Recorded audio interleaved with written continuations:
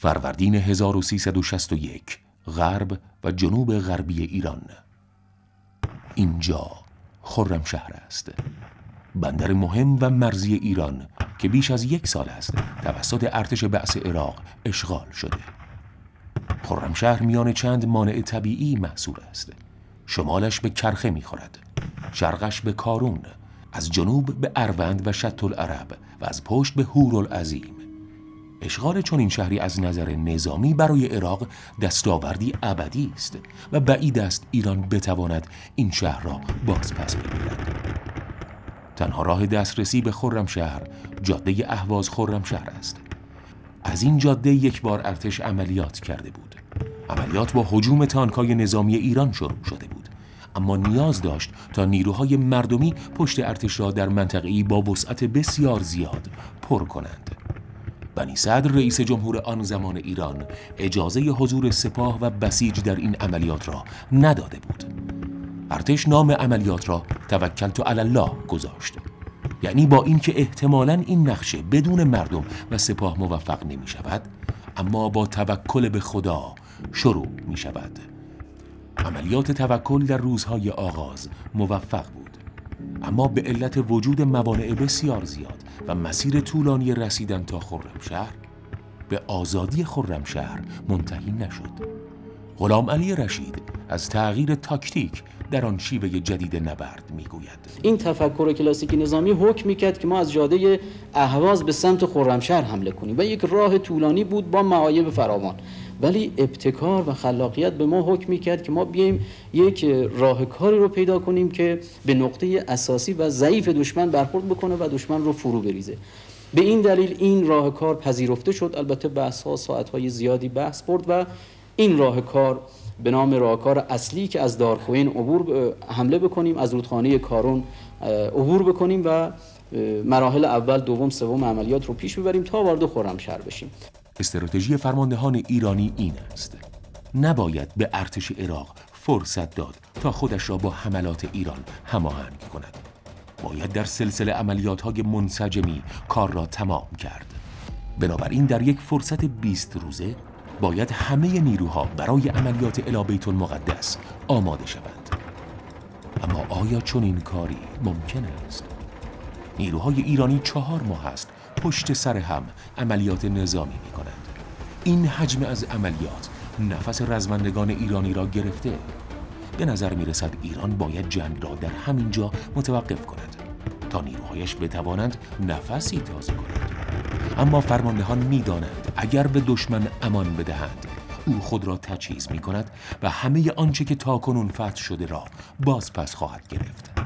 چالشی سخت در پیش روی فرماندهان است. آیا ایران با خرمشهر خداحافظی خواهد کرد؟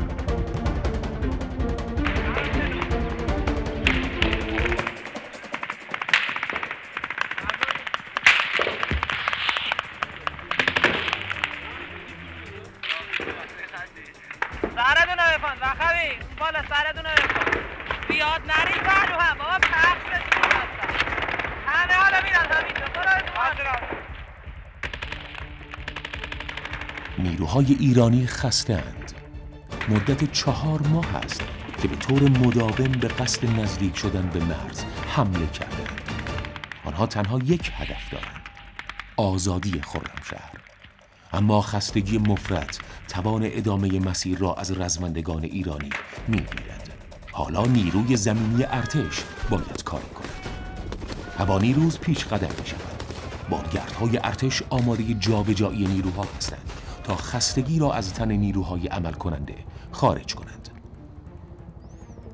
اما هوانی روز ارتش هم در عملیات فتح المبین بیش از چهار هزار ساعت پرواز انجام داده و برای ورود به عملیات الابیت المقدس فقط 20 روز فرصت دارد. با این حال هوانی روز شروع به کار می کند در کمتر از 20 روز باید همه توان هوانی روز بازیابی شود. سیستم های پروازی تعمیر و به روز رسانی شود و نیروها مانند روز اول به میدان نبرد شگفتانگیز خرمشهر وارد شوند. میدانی که در آن دست بالا فقط با ارتش مسلح عراق است. طراحی ها برای عملیات بیت المقدس شروع می شود حسن باغری استدلالهایش را برای فرماندهان توضیح اقلا تا ده صبح این دو گردانشو به بالا بکشونه بازم اگر بفهمه که این نمیاد جلو. بعد بخواد حرکت رو به این ور مجددا ادامه بده باز ما می‌تونیم یه کاری بکنیم. و بعد راهنمایی که اصلا جابجا یعنی الان خبر کردن اینا جابجا کردن اینا زمان رو به بعد از تاریکی میکشونه. بعد یه تیپ پیادش و یه تیپ زرهیش حرکت رو به صورت جدی ادامه بده. تا کجا بیاد جلو؟ ده کیلومتر بیاد تو جناح راست به اون صورت نداره دیگه استدلال حسن باغری منفرد نیاکی مسعود بختیاری و فرماندهان جوان ارتش و سپاه آنقدر قدرتمند است که سیاد شیرازی و محسن رضایی را مجاب می کند می توانند به خرمشهر حمله کنند این میان سیاد شیرازی به این فکر می کند که آیا این نبرد آنگونه که آنها می خواهند پیش خواهد رفت؟ اگر ایران در این نبرد سهمگین و با وسعت بزرگ شکست بخورد دیگر کمر راست نخواهد کرد. اما اگر آنطور که همه نقشه های ارتش و سپاه نشان می‌دهد ایران در این جنگ پیروز شود یک درس بزرگ نظامی در کلاسی بسیار بالا برای دنیا نمایش داده خواهد شد. شب عملیات فرامرز بسم الله الرحمن الرحیم. لا حول ولا قوت الا بالله العلی العظیم. زمین ها از هر نظر فراهمی که بیاری خدا یک کلاس پیشرفته ای رو انشالله تشکیل بدیم و ما نتیجه گیری از این کلاس ما پیروزی بسیار چشمگیر رو نصیب رزمندگان اسلام بکنیم انشالله. بعد رضایی فرمانده سپاه پاسداران. بسم الله الرحمن الرحیم. البته حرف اصلی ما انشالله بعد از عملیات خواهد بود که اون موقع ترسیم بکنیم هدف های آینده و عملیات بعدی رو که بتونیم مردممون رو خوشحال بکنیم.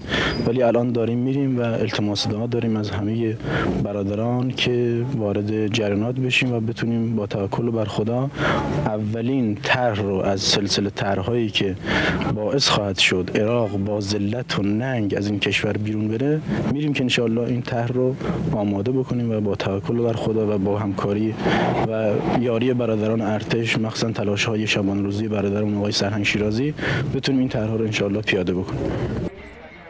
قرار است ایران به جای نبرد کلاسیک در یک غافلگیری کامل با عبور از کارون وارد معرکه نبرد خرمشهر شود. سه قرارگاه برای این رزم طراحی شده. مهمترین و سختترین کار در عرصه نبرد با قرارگاه نصر است. حسن باقری و سرهنگ حسنی سعدی فرماندهی این قرارگاه را بر عهده دارند. اگر نیروهای پیاده ایران بتوانند با قایق هم از کارون عبور کنند در آن سوی کارون به نیروهای زرهی و توپخانه نیاز دارند. اینجاست که نیروی مهندسی ارتش و سپاه وارد ماجرا می شود آنها باید پلهای شناور نیروی زمینی ارتش را روی آب بیاندازند. پنج پل شناور یعنی همه دارایی ارتش جمهوری اسلامی ایران باید روی رودخانه خروشان کارون نصب شود. تا شبانه نیروهای ارتش و سپاه از این رودخانه عبور کنند و به خرمشهر وارد شوند. صبح امروز سیاد به میان نیروهای مهندسی ارتش رفته بود. مهمترین بخش مرحله عملیات دست این مردان است.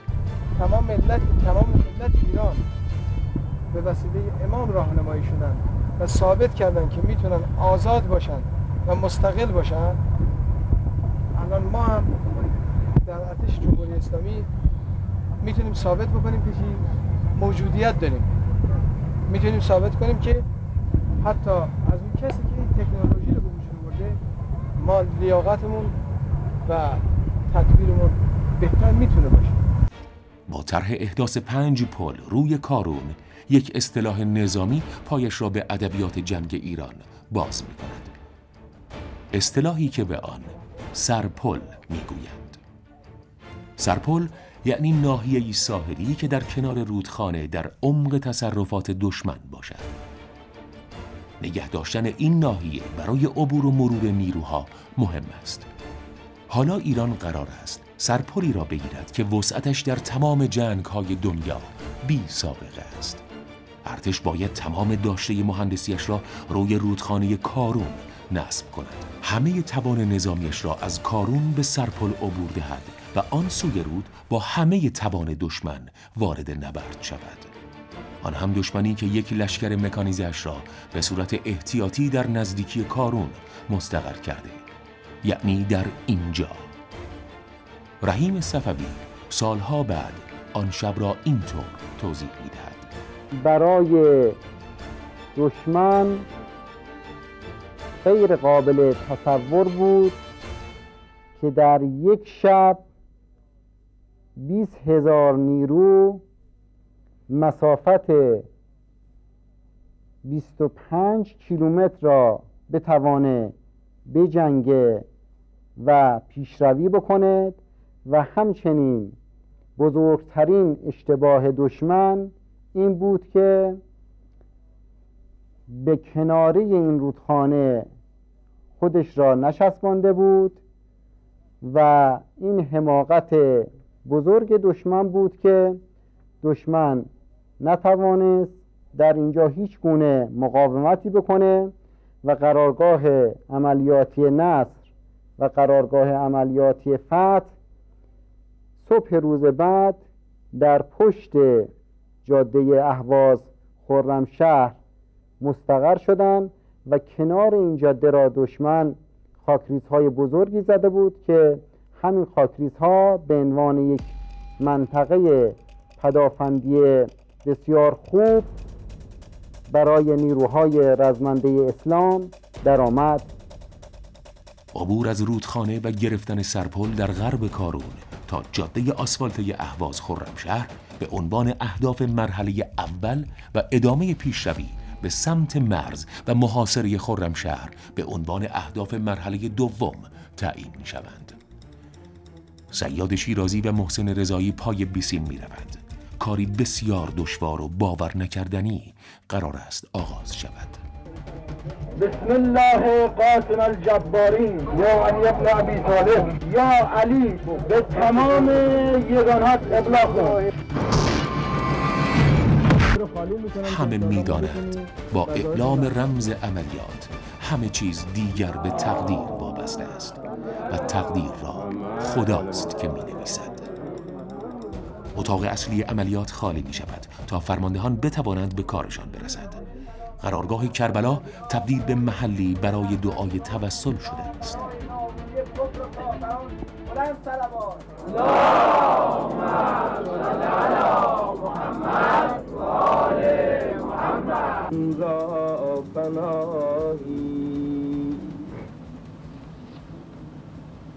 با اعلام رمز صدای بیسیم های ارتش خبر از عبور از پل می دهند.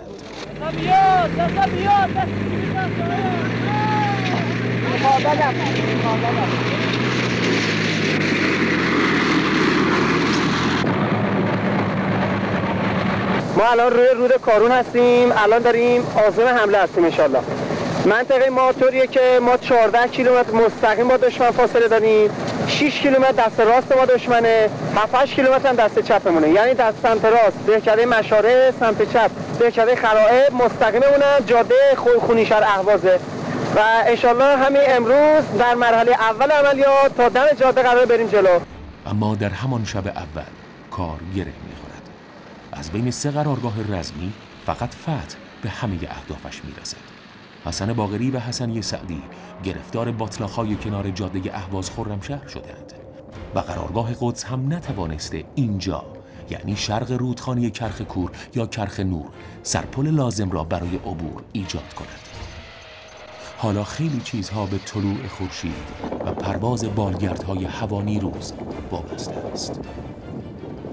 صبح روز دهم اردیبهشت آسمان شرق کارون متوجه حضور بالگردهایی می شود که هدف اصلیشان حمایت از دو قرارگاه نصر و فتح است.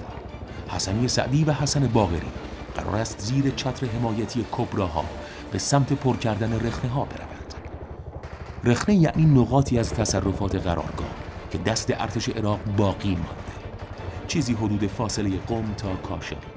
مسافتی که خیلی هم رخنه نیست و می تواند کل قرارگاه نصر را به درد سر بیاندازد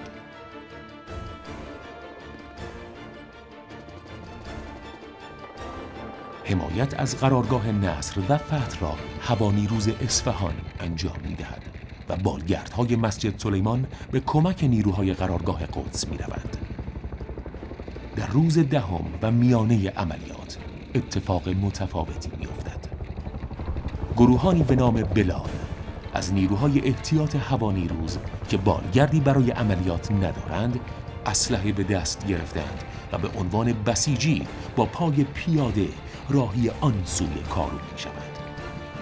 ایران همه توانش را برای آزادی خرمشهر به میدان آورد. ببینید آرپی‌جی‌زن فقط توش داشته باشه برادر جون 50 تا 100 نفر فستان از سمت چپ رفته. آرپی‌جی‌زن بفرست. همون آب- آرپی‌جی‌زن آرپی‌جی‌زن رفتن. 20 نفر رفتن اونجا.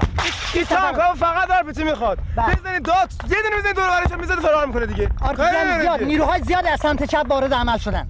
نیرو راست. تمام نیرو تمام فرار. نیروهای پیادهش سمت راست و تانکاش سمت چپ هستن. آقا بیاد برید به چپ. بیاد برن به چپ. به چپ به چپ.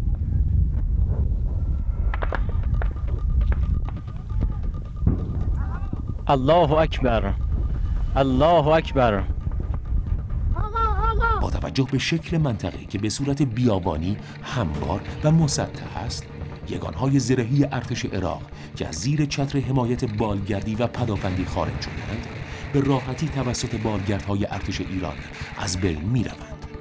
کار برای شروع مرحله طوفانی و سخت آغاز می شود. در مرحله نخست و دشوار اول فرماندهان بسیاری مجروح شدند این یعنی باید تمام فرماندهان مجروح به عقب منتقل شوند که با این کار توان فرماندهی نیروهای ایرانی برای ادامه عملیات با مشکل بزرگی روبرو شود آنها که حال بهتری دارند باید با همان حال مجروح در جبهه بمانند. در حدود 8 پیش عملیات گسترده‌ای برای تصرف محور جاده اهواز شهر آغاز شد که با توکل به خداوند متعال و یاری حضرت مهدی حرکت ما عبور از رودخانه کارون و رسیدن به جاده اهواز خونین شهر بود که به حمدالله و به فرماندهی حضرت مهدی و کمک های بسیار زیاد خداوند متعال تونستیم تقریبا در لحظات اول هدف هایی که در نظرم بود اشغال کنیم و دشمنی که در منطقه بود به محاصره دراریم و منطقه رو از لوس وجود کفار بعثی پاکسازی کنیم. و الان که صحبت می‌کنیم در منطقه ای که هدف اولیه اون بوده مستقر هستیم و آماده هستیم به لطف خداوند متعال و یاری حضرت مهدی حرکت بعدی خودمون رو آغاز کنیم و به مرحله دوم عملیات که مرحله سرنوشت ساز عملیات قدم برداریم و امیدواریم که خداوند منو در این راه کمک کند تا بتونیم حق این مظلومین و این ستم دیدگان رو از این کفار بعثی و دست نشاندگان آمریکا در منطقه بگیریم. ماندن فرماندهان مجروح در مرحله دوم عملیات به رزمندگان توان و قدرتی دوباره می‌دهد. از سوی دیگر وسعت عملیات بیت المقدس هر طراح نظامی را به حراس میاندازد. بیت المقدس چهل برابر عملیات سامن الائمه و ده برابر طریق القدس وسعت دارد. چون این وسعتی نیازمند به تأمین امنیت هوایی است. تأمین همه اینها با پرواز جنگنده ممکن نیست و اگر آسمان توسط پدافند ارتش امن نشود هیچ بالگردی هم قادر به پرواز نخواهد بود بنابراین به دستور فرماندهی پدافند تیم‌های پدافند هوایی به صورت پنهان و لایه لایه در مسیر بیت المقدس مستقر می شوند. آنها تا آغاز مرحله دوم عملیات بیش از سیزده جنگنده عراقی را سرنگون می کنند. این وضعیت تا پایان عملیات به شست فروند هم خواهد رسید.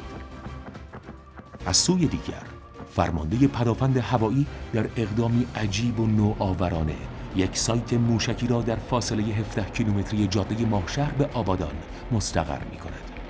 این جاده زیر آتش مستقیم توپخانه قرار دارد و از نظر نظامی استقرار یک سامانه موشکی ضد هواپیما در این نقطه اصلا کار درستی نیست. اما آنچه تا الان ایران را به پیروزی رسانده ابتکارات غیرقابل محاسبه است. با انهدام چند فروند جنگنده عراقی بر فراز منطقه عملیاتی عراقی ها تازه می‌فهمند که اسیر پدافند متحرک ایرانی ها شدند. آسمان برای جنگنده عراقی ناامن است. این سایت موشکی آنقدر در بیت المقدس تعیین کننده است که بعثی ها تا پایان عملیات بارها و بارها برای بمباران آن به سویش حمله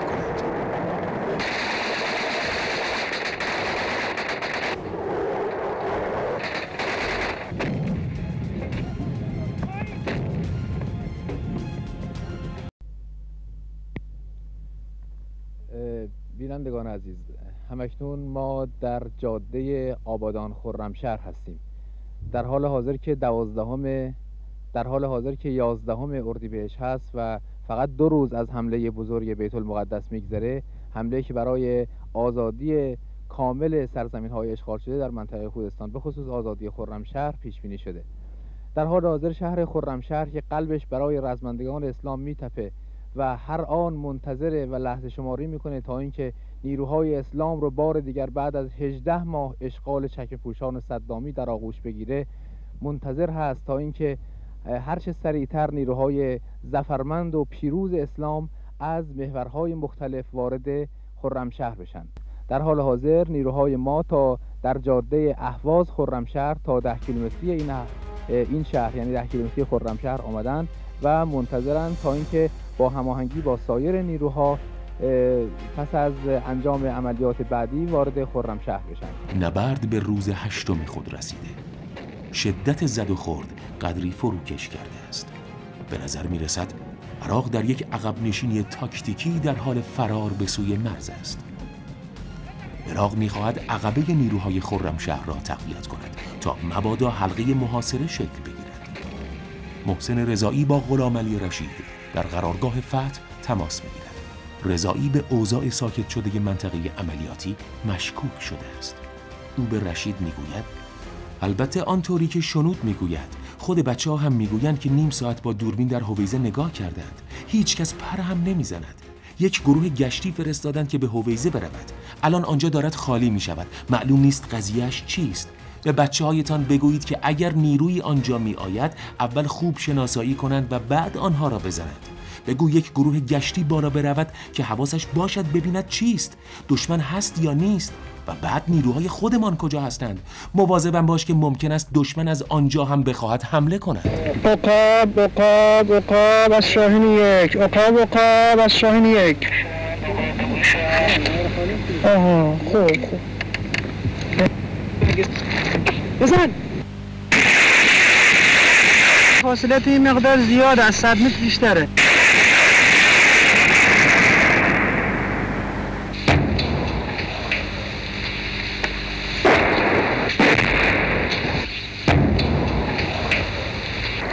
حرکت برادر حرکت برادر حرکت حرکت. برادر حرکت برادر حرکت.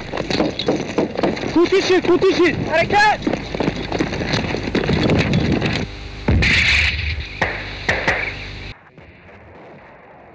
عراق در یک اقدام اشتباه نظامی نیروهای نظامی خود را به سمت قلب خرمشهر حرکت می دهد. سیاد و رضایی از نیروی هوایی تقاضای کمک می کند. چند دقیقه بعد بمبافکنها و شکاری های ایرانی از باندهایشان بلند می شوند. هواپیماهای ایرانی با پرواز در ارتفاع بالا و پایین ستونهای دشمن را بمباران می کنند. اما یکی از این هواپیماها بر اثر اصابت موشک پدافند هوایی دشمن سرنگون می شود. ایران می‌فهمد که عراق در اطراف خرمشهر هنوز دارای پدافند است. سرهنگ حسنی سعدی حرکت دفاعی عراق را اینطور توضیح می‌دهد وضعیت پدافندش در این موقع به این ترتیب بود که توضیح داده شد لشکر شیش شیش زرهی با چهار تیپ سازمانی و یک تیپ پیاده لشکر پنج مکانیزه با چهار تیپ سازمانی و یک تیپ پیاده. لشکر سه زرهی که در این منطقه قسمت اعظم از نیروهاش رو از دست داده بود با تیپ ده زرهی تیپ 17 زرهی لشکر ده و چند تیپ پیاده تقویت شد و به همین ترتیب لشکر 11 که مأموریت حفظ و نگهداری خرمشهر رو به عهده داشت بعد از مرحله یکم با چند تیپ پیاده تقویت شد. بلا فاصله دشمن بعد از اجرای مرحله یکم خرمشهر رو تقویت کرد و لشکر سه زرهی هم نیز که تقریبا 40 50 درصد از توان خودش از دست داده بود و مزمحل شده بود در این منطقه با چند تیپ زرهی و چند تیپ پیاده در این منطقه تقویت شد. برنامه قرارگاه کربلا چیز دیگری است. کمتر کسی می‌داند در ذهن سیاد رضا چه میگذرد.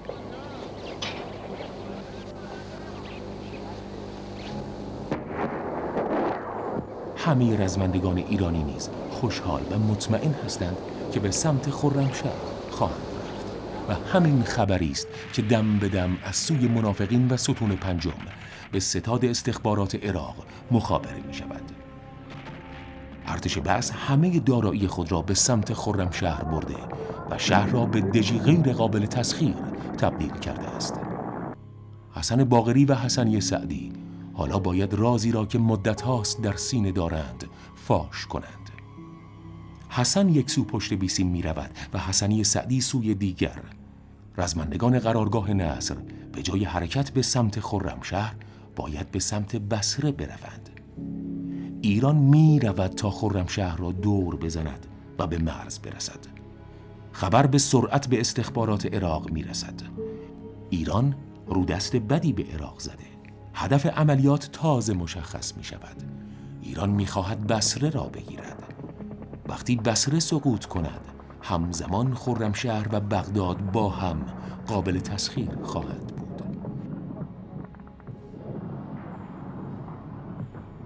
دستور به سرعت به یگانهای زرهی عراق می رسد باید از بسره نگهداری کنند با همین حرکت دفاع خرمشهر اندکی بازتر می شود صدام به فرماندهان خود پیام میفرستد که هر کسی قدمی عقب بنشیند تیر باران خواهد شد.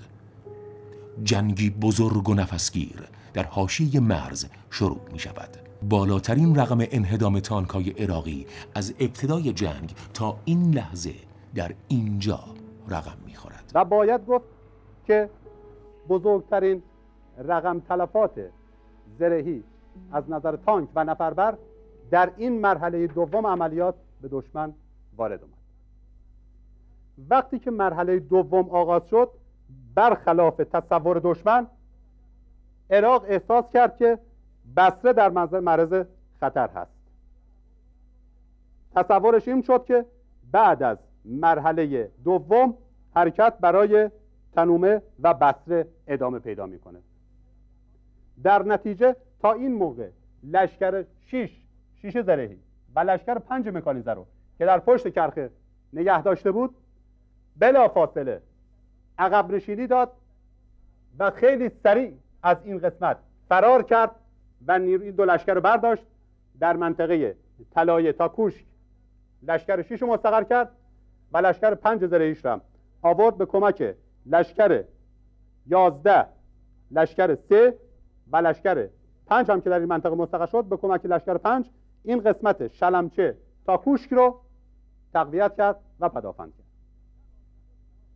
وقتی که این نیروها شتاب زده در این منطقه مستقر شدند نیروهای ما از یک کیفیت بسیار خوب برخوردار بودند و در این مرحله حد اکثر تلفات زایات را همونطور که عرض کردم به نیروهای زرهی دشمن وارد آوردن این مرز ایران است.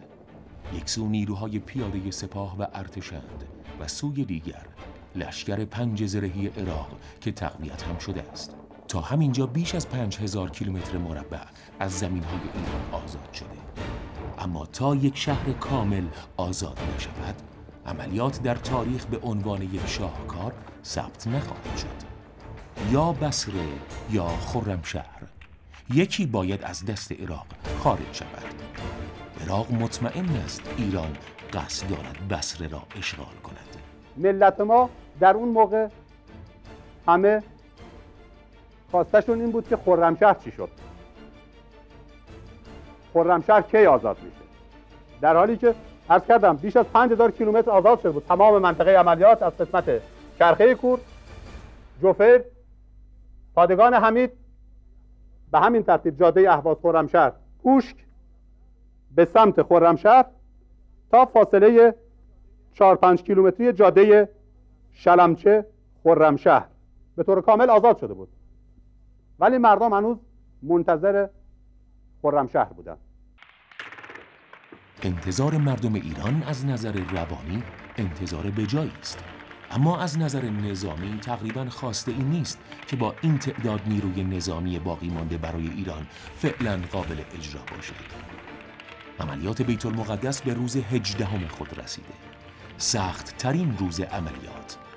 قرارگاه نصر زیر شدید ترین فشار است. خیلی احساس نگرانی می‌کردیم.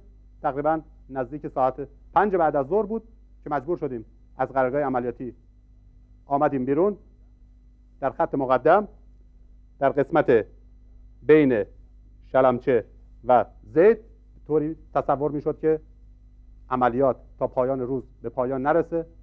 ولی واقعا وقتی که آمدیم در منطقه عملیات وضعیت طوری شکل گرفته بود که مایه امید کامل شد و با یک برتری کامل و چشمگیر نیروهای ما خیلی سریع مرز رو تسخیر کردن.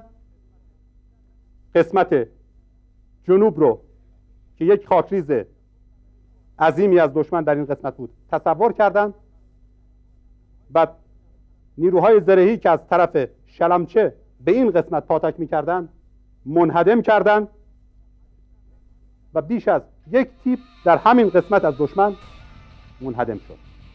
انتظار مردم گرفتن خرمشهر است. آن هم در حالی که جاده شلمچه خرمشهر بسره هنوز دست عراق است. علاوه بر لشکر یازده عراق چندین تیپ هم وارد شهر شده است. عراقی ها علاوه بر این جاده روی رودخانه اروند یک پل انتقالی زدند و حالا عراق هم خرمشهر را در دست دارد و هم دو محور برای انتقال نیروهایش. نیروهای ایرانی خارج از شهر اردو می‌زنند و حملات را متوقف می کنند تا چندین لشکر از سپاه پاسداران برای کمک برسند. عراق از این فرصت سکوت و سکون در نبرد استفاده می کند و خبرنگارهای خارجی را به خرمشهر می آورد تا این خبر به دنیا مخابره شود که عراق بر خرمشهر حاکم است و ایران دروغ می‌گوید. از نظر همه کارشناسان نظامی در دنیا خرمشهر برای ایران قابل تسخیر نیست. ایران نه نیروی کافی دارد و نه استعداد نظامی خاصی که بتواند خرمشهر یا بصره را بگیرد. این همان چیزی است که فرماندهان ایرانی انتظار دارند تا در ذهن بعثی ها بنشیند. اطمینان از اینکه نیروهای ایرانی توان ورود به شهر را نخواهند داشت. اما روز بعد نیروهای مردمی به سوی خرمشهر به راه میافتد. هشتاد هزار ایرانی یک سال است منتظرند تا وارد خرمشهر شوند.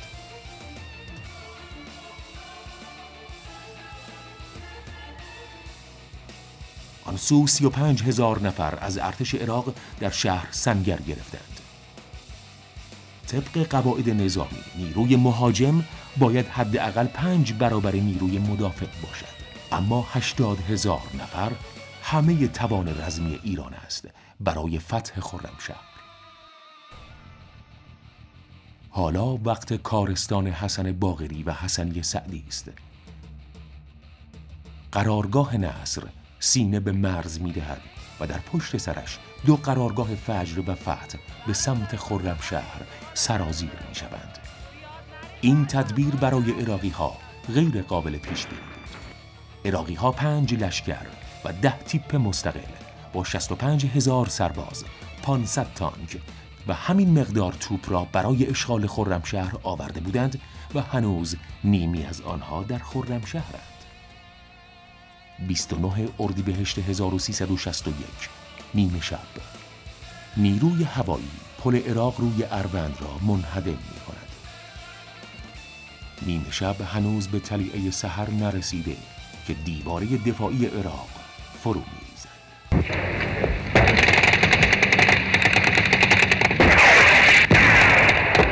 رخنه ها یکی پس از دیگری باز شده و رزمندگان ایرانی وارد شهر می شوند. حرکت ستونهای ایرانی در طلوع خورشید از آسمان هم قابل دیدن است. جنگنده های ارتش عراق بلند می شوند تا این ستونها را مثل یک هدف آسان شکار کنند. اما آنچه فکرش را نمی کنند اتفاق می افتد. پدافند ارتش که به صورت سیار در آمده پوشش هوایی بی را برای رزمندگان ایرانی ایجاد کرده است. سی جنگنده عراقی بالای خرمشهر سقوط می کند. نیروی هوایی عراق در شوک بزرگی فرو می رود. همین باعث می شود ستون نیروهای ایرانی به راحتی بتوانند به پشت سر عراقی ها بروند. از سوی دیگر احمد کازمی باید با حسین خرازی متحد شود تا بتواند وارد خرمشهر شود. سوم خرداد 1361 خرمشهر غلام علی رشید در قرارگاه فتح انتظار می کشد اما صدای احمد کازمی خبری می دهد که همه را شکه می کند حسین منتظر همانگی شما که کارشون شروع کنن. آقا میگم من تو شهرم و همه نیروها تو شهر اومدن پرانده شدم. بله بله. می من فهمیدم چی گفتی. میگی من تو شهرم کلی نیروها پناهنده شدن. بریم بله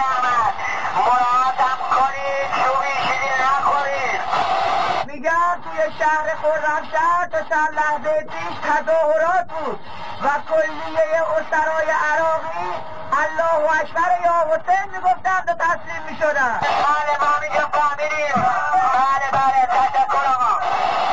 خداوند خرمشهر رو آزادش کرد شنوندگان عزیز توجه فرمایید. شنوندگان عزیز توجه فرمایید. خونین شهر شهر خون آزاد شد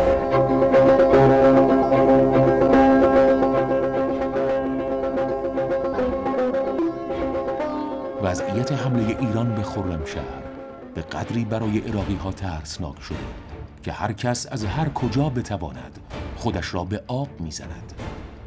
پیر رازرو روزنامه‌نگاری که روی جنگ ایران و عراق سالها مطالعه کرده آن صحنه را اینطور می نویسد عراقی ها حراسان و دست پاچه خودروهای نظامی خود را رها کرده و تلاش کردند خود را به شط العرب برسانند و به وسیله قایق بادی، کلک یا حتی شنا کردن خود را به آن سوی رودخانه برسانند.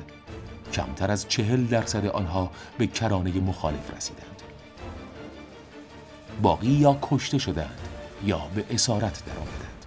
این صحنه است که رزمندگان ایرانی دیدند و حسن باغری آن را روایت می کند تماما در گل فرو رفته و هیچ کدوم از این تانک ها و خودروها نتونسته بودند برن حتی سربازا و افسرهایی که از عراق خواسته بودند فرار بکنند کفششون توی این گلا گیر کرده بود و پا برهنه فرار کرده بود. صدام حسین افسرانی که از نظر او در شکست ناگهانی خرمشهر مقصر هستند را به شدت گوشمالی می‌دهد بر اساس دستورات او حدود 20 افسر برجسته از فرماندهی برکنار می شوند. فورا دادگاهی نظامی در بصره تشکیل شده تا آنها را محاکمه کند. ده نفر از آنها فرماندهان سپاه سوم، لشکر سوم و لشکر نهم گناهکار شناخته شده و اعدام می شوند. این سویتر اما سرگردی که دوباره درجات سرهنگی را امام بر روی دوشش گذاشته بعد از شش ماه پیروزی چشمگیر حالا به دیدار امام آمده او اما هیچ ادعایی برای قهرمانی در این فتح ندارد و امروز ما اعتراف می‌کنیم به اینکه وحدت و یکپارچگی و اون هماهنگی رزمندگان اسلام در جبهه نبرد یکی از بزرگترین عوامل موفقیت که جناب از همون روزهای اول انقلاب به ما تاکید می‌کردید که وحدت خودتون حفظ کنید هماهنگی داشته باشید در عملیات. بگذاریم که در طول این مدت فرازنی شیب هایی ما داشتیم که نمیذاشتن به این وحدت برسیم. ولی خدا رو شکر که امروز این وحدت بین ارتش و سپاه پاسداران انقلاب اسلامی و نیروهای مردمی که این همه عظمت آفریدن در صحنه نبرد موجب شده که ما الهام بگیریم و این الهام رو انشالله می‌خوایم در جبهه قدس پیاده بکنیم.